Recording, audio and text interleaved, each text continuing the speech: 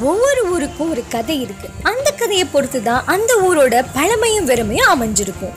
இப்போ நம்ம ஒரு கதைக்கு வரலாம். தமிழ்நாட்டோட மையப்பகுதியான நம்ம மலைக்கோட்டை நகரம் தான் நம்ம திருச்சி.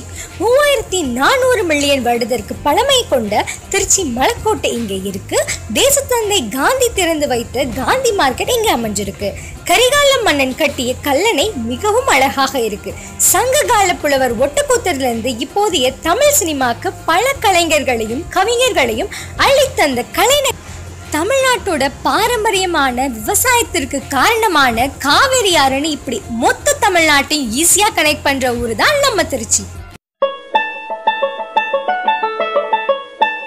காவேரி கரையில் அழகாய் மின்னும் நகரம். சிட்டி செல்ல பெயர்தான்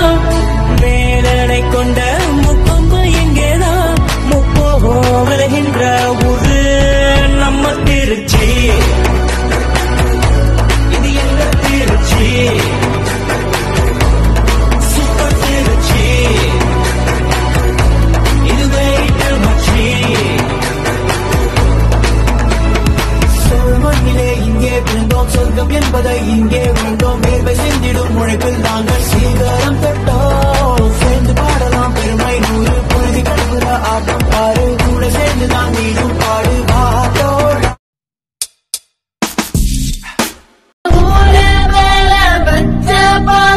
சொன்னா புரியாது. எங்க ஊரே போல சொர்க்கம் ஒண்ணு கிடையாது. இங்க சாயங்காலம் வீச இளசார காத்து பேசும்.